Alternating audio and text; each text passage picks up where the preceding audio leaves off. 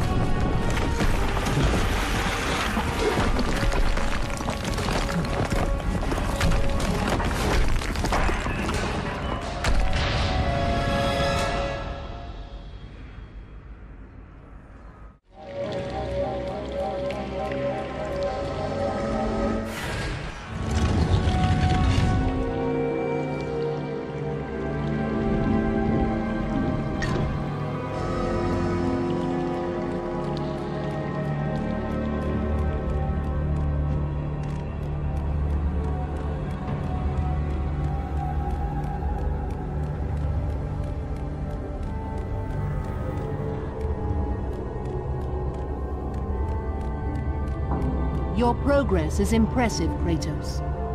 But be warned. Once you ascend to the upper levels of the temple, you will not be able to return without Pandora's box.